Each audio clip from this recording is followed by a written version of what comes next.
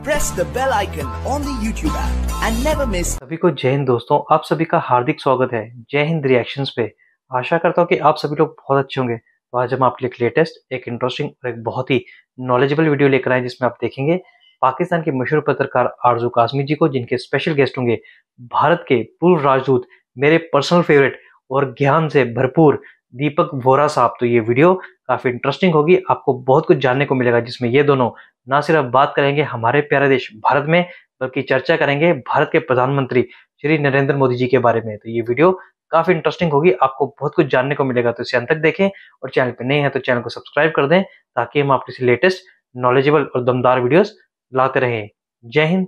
जय भारत। हमारे साथ हैं जी आपके जाने पहचाने एम्बेसडर दीपक होरा सर। बहुत शुक्रिया सर कि आज आप आए thank you so much thank you thank you very much आपने बुलाया है बहुत अच्छा लगा। कई दिनों के बाद मैं अपनी बेटी से मुलाकात फिर से कर रहा हूँ। Thank you thank you so much sir sir सबसे पहले हम बात करेंगे पीएम मोदी के विज़िट की जो उन्होंने अमेरिका का विज़िट किया है। आप कैसे देखते हैं उसको?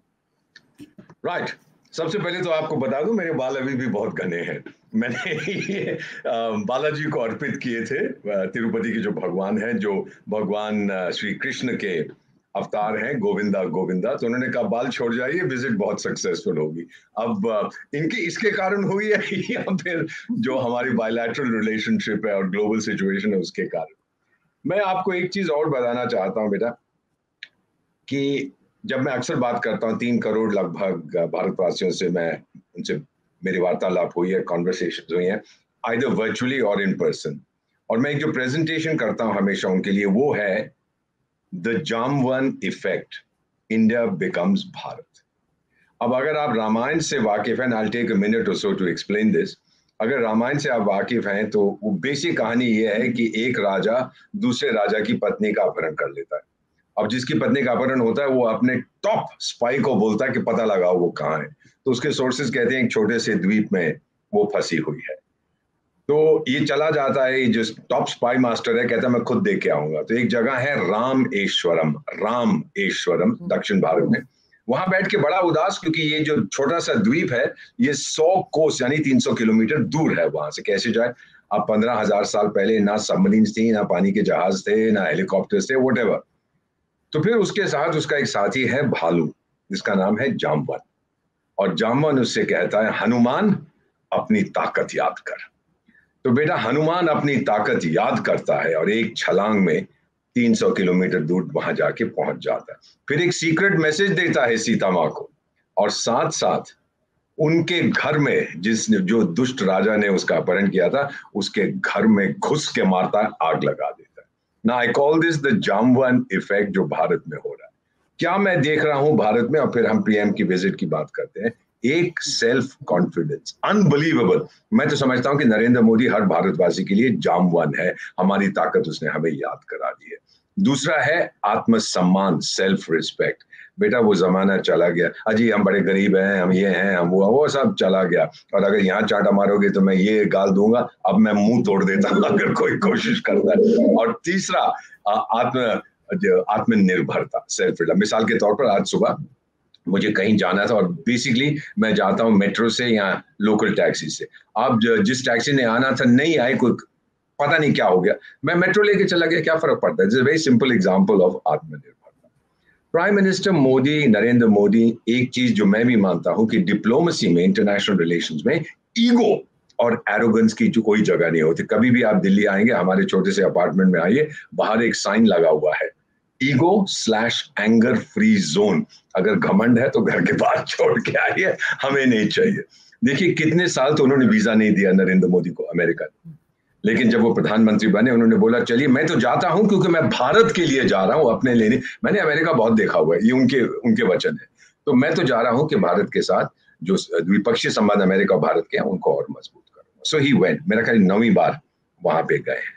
अब पाँच मेन इवेंट्स थे इनके विज़िट ये विल्मिंगटन डेलावेयर में वो जो बुढ़न साहब है, मैं उनको बुढ़न कहता हूँ, जो बाइडन साहब को तब मेरा कल पचास, पचासी या छियासी साल के एंड ही गॉट ऑल्जाइमर्स वो भूल जाते हैं। तो उन्होंने अपने घर ले गए, और उनका घर विल्मिंगटन डेलावेयर में है। मैं गया हुआ मैंने वो घर भी देखा हुआ है, जब वो सेनेटर थे और मैं वहाँ पोस्टेड था। बड़ी खूबसूरत जगह है, और विल्मिंग विल्मिंगटन में हम उसको कहते हैं कॉरपोरेट कैपिटल ऑफ़ अमेरिका कितनी सारी कंपनियों ने अपने हेडक्वार्टर्स वहाँ बना रखे हैं। टैक्स रेजिम बड़ी फेवरेबल उनको वहाँ ले गया, बातचीत हुई। बातचीत से पहले उन्होंने 300 एंटीक्स भारत के दिखाए अपने घर में, उनके घर में डिस्प्ले हो रही थी, जो उन्होंने भारत को लौटा दिए। बेटा, अभी तक हमें, ये देखिए स्टार्ट कितना अच्छा हुआ है। अभी तक हमारी विरासत हेरिटेज की 600 मूर्तियाँ और बाकी चीज़ें अमेरिका ने हमें वापस की हैं, ऑस्ट्रेलिया ने की हैं, बाकी देशों ने की हैं। और जिसने सबसे बड़ी चोरी की थी, ब्रिटेन, उसने 16 वापस की हैं। कमीने हैं, चोर है, अपने पास रखना चाहते हैं हर चीज़ को, जो हम ही से नहीं, बाकी सब कॉलोनी से चुरा और जब हम कहते हैं, वापस करो तो अपना कानून एक नया निकाल देते हैं। ओ जी, ये जा नहीं सकता, इसको इतने साल हो गए, इतने साल हो गए ऑल दिस नॉन तो उसका एटमोस्फियर सेट हो गया।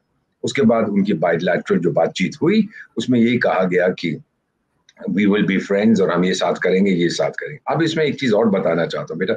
जब मैं अमेरिका में पोस्टेड था तो मैं लेक्चर्स अटेंड करता था जॉन मेयर शाइमर जो यूनिवर्सिटी ऑफ़ शिकागो के प्रोफेसर है, बहुत बड़े इंटरनेशनल अफेयर्स के एक्सपर्ट है, और दूसरा जेफरी सैक्स जो इकोनॉमिस्ट है मेरी तरह, आपने नाम सुना हुआ है, वो तो वर्ल्ड क्लास इकोनॉमिस्ट है। इन दोनों की एक राउंड टेबल डिस्कशन मैं बड़े ध्यान से सुन रहा था। आपका जैसे मैं सुनता हूँ यूट्यूब पे तो उनका भी सुन रहा था।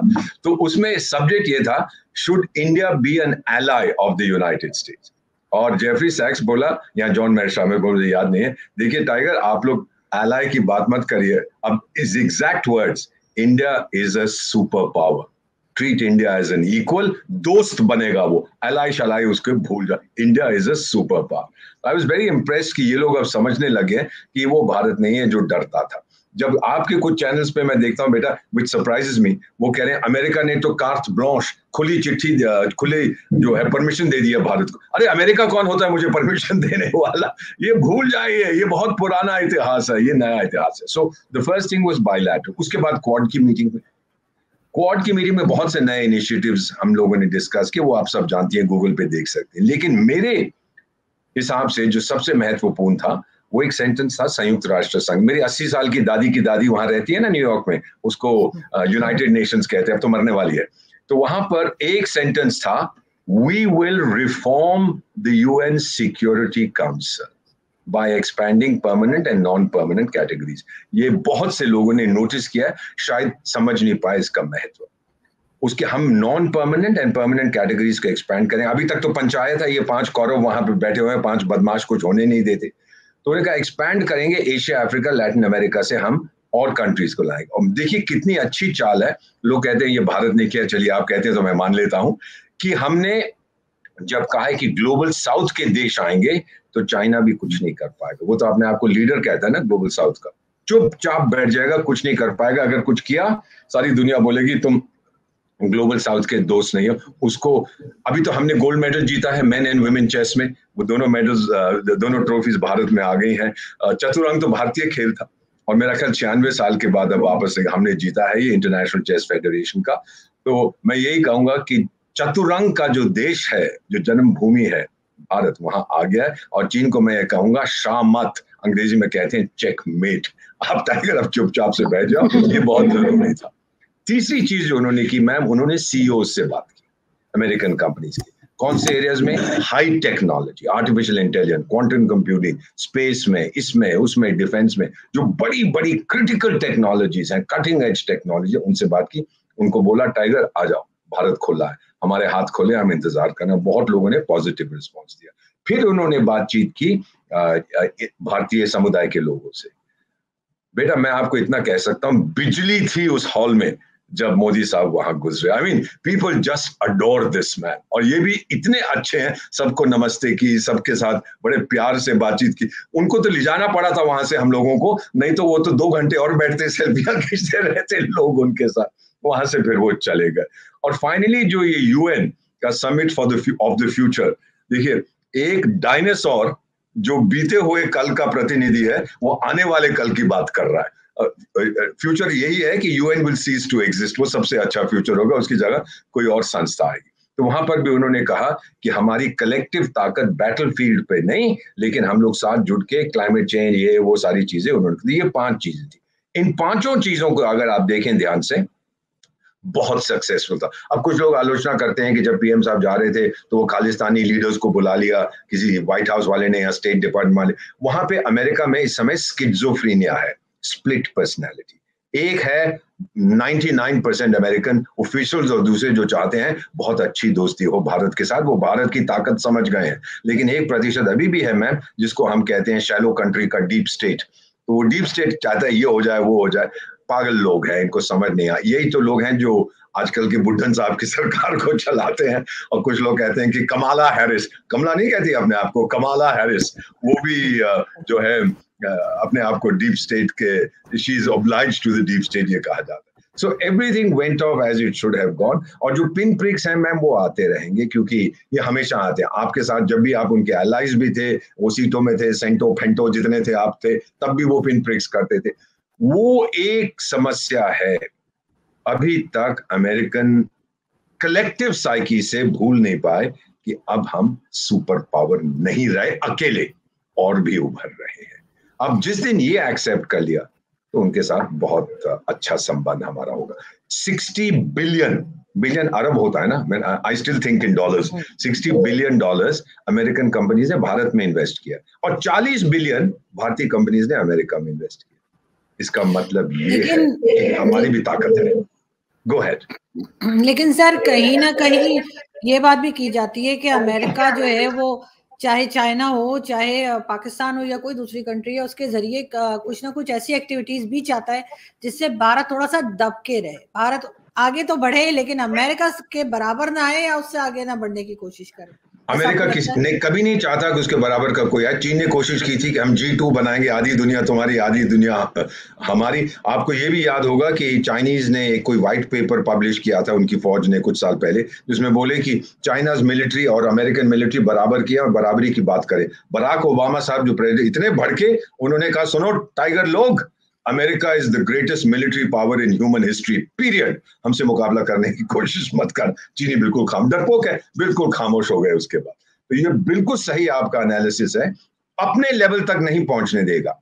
लेकिन अगर कोई दोस्त है, जो वो कहता है अच्छा ये मेरा दोस्त है, ये ऐसा कुछ नहीं कर स्ट्रेटेजिक पार्टनरशिप करते स्ट्रेटेजिक का मतलब क्या होता है कि भाई तुम कुछ मत करो जिससे मुझे नुकसान हो, मैं कुछ नहीं करूँगा जिससे आपको नुकसान वो भारत नहीं करेगा। और हमने अपने सारे ऑप्शन खुले रखे। आपको याद होगा, अमरीकी हमें कहते थे, रूस को गाली दो। हमने कहा, क्यों भाई? कि यूक्रेन पे हमला किया। हमने कहा गाली ना दी तो क्या करोगे? तो उनका एक इंडियन ऑरिजिन का डेप्यूटी नेशनल सिक्योरिटी एडवाइजर था बेटा, उसका नाम मैं भूल गया तो कोई सिंह साहब थे, यहाँ आके कहते, अगर आप नहीं करोगे तो फिर हर जाना आपको भुगतना पड़ेगा। तो हमने कहा धमकी दे रहा है टाइगर भारत को? तो वो यहाँ से वापस गया उसको नौकरी से निकाल दिया व्हाइट हाउस में से। तो ये चीज़ें हैं ये ताकत उभर रही है। We are not we are not looking for equality हम लोग डिग्निटी से जीना चाहते हैं। हम लोग एक दुनिया चाहते हैं जैसा बराबर हम तो बात करते हैं ना वासुदेव कुटुंब पूरी दुनिया एक परिवार है। और मेरा पर्सनल मानना है बेटा अगर ये संयुक्त राष्ट्र संघ नहीं सुधरता ये खत्म हो जाएगा। ये आत्महत्या कर लेगा और इसकी जगह आएगा जो मेरा टाइटल है I found international family of nations Vasudev कुटुंब पूरी दुनिया एक परिवार। ये मेरा मानना है। होता है कि नहीं होता मेरी तिहत्तर साल की उम्र है, इक्यावन साल मुझे हो गए हैं कूटनीति में।